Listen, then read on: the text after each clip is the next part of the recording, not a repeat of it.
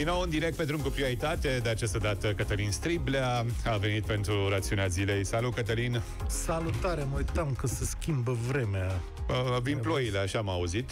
A, pe aici a fost mult frumos. Măi, da, și cât a fost frumos? Azi au fost aproape 30 de grade da, în București. Deci... Minunat. Plimbărică am făcut, am ieșit afară, am venit îmbrăcat în tricou. Deci mâine ne luăm gecile astea. Da. Să vezi. Ah, ar punem fes.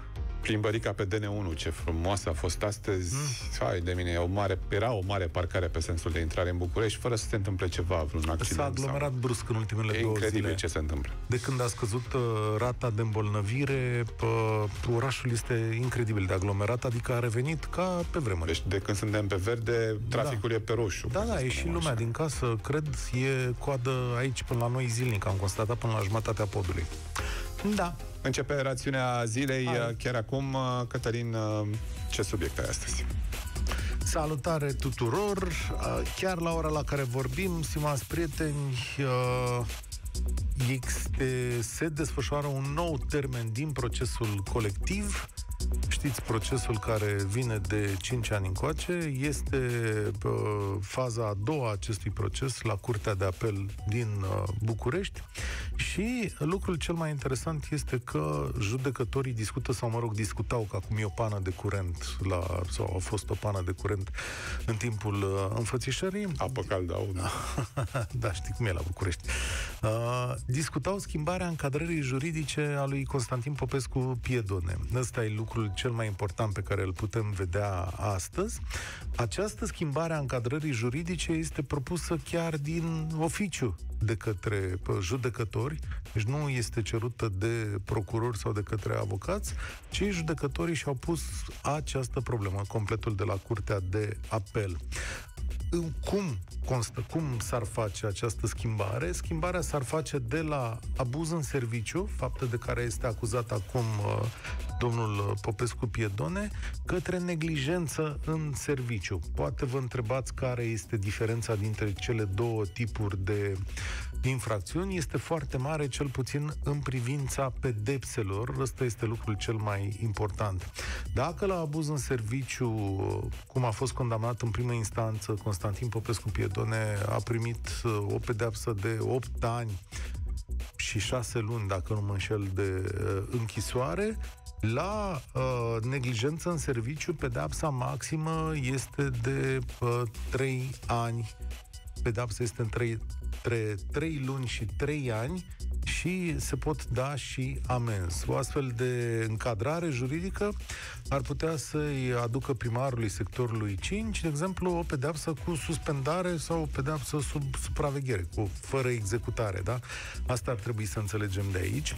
Procurorii nu sunt de acord, procurorii DNA nu sunt de acord cu această nouă încadrare juridică, cu această propunere. Au și cerut recuzarea judecătorilor din această speță și uh, în cererea lor de recuzare, citez acum, DNA precizează că aspectele puse în discuție de instanță, raportat la schimbarea încadrării juridice a faptelor și uh, spun în felul următor, implică analiza unui articol de cod de procedură penală, adică acțiunea penală nu mai poate fi exercitată dacă fapta nu există, nu e prevăzut de legea penală, ori nu a fost săvârșită cu vinovăția prevăzută de lege. Și uh, ei trag concluzia de aici că judecătorii practic își depășesc atribuțiile în această chestiune sau care exista un tip de antepronunțare a acestora pe uh, speța cu pricina. E, în situația asta, sigur că lumea e foarte curioasă să vadă ce se întâmplă și cu atât mai mult așteptăm când vor veni motivările sau, mă rog, explicațiile instanței dacă asta se va produce, de ce au recurs la chestiunea asta, pentru că până acum nu știm. Adică și e firesc să nu existe o explicație publică, dar nu știm de ce dumnealor vor să ducă către o altă încadrare. Vă amintesc că acesta este apelul procesului, da?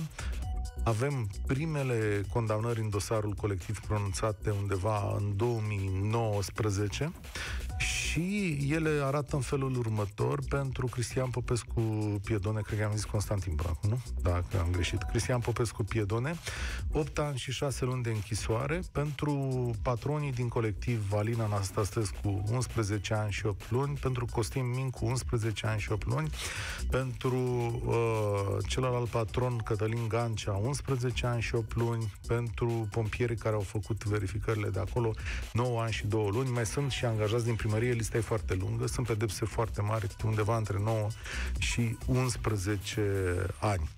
Deci cam aceștia ar fi vinovații pentru tragedia de la colectiv. Sigur. Acum, uh, procesul ăsta după pronunțarea inițială, uh, după începerea lui, trebuia să, să fi terminat undeva la jumătatea lunii aprilie. El deja s-a, prelung, s-a prelungit în perioada asta cu o lună. Existaseră niște termene destul de clare. Uh, deci nu suntem foarte departe de finalul acestui proces. Poate că, nu știu dacă astăzi, dar poate la următorul uh, termen, poate vom ști uh, mai multe, mai multe lucruri. În orice caz, uh, asta e o situație în desfășurare. Până la ora 18 ar trebui să aflăm dacă ceea ce v-am povestit eu în acest moment se întâmplă, adică schimbarea încadrării juridice, sau uh, nu, și poate vom primi mai multe detalii, eu știu, de la avocați, de la cei care sunt implicați în chestiunea asta. Zic că e important pentru societatea da, noastră să știm lucrurile astea. Foarte interesant de aflat, interesante de aflat aceste detalii. Mulțumesc foarte mult, Cătălin Striblea. Rațiunea zilei se încheie aici. Cătălin revine mâine la România în direct de la 13 și uh, un sfert. Spor la treabă.